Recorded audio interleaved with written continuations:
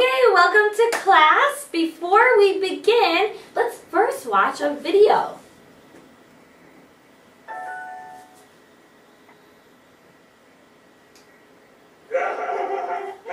oh, me love when you come over. Okay, so, wow, what a good video. So in this video, what is it about? Julie?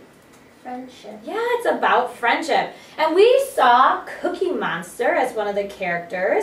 And what was Cookie Monster doing with his friend? They share the cookies Yeah, together. sharing cookies. So, do you think that they have a good relationship or not so good? Good relationship. Yeah, probably a good relationship.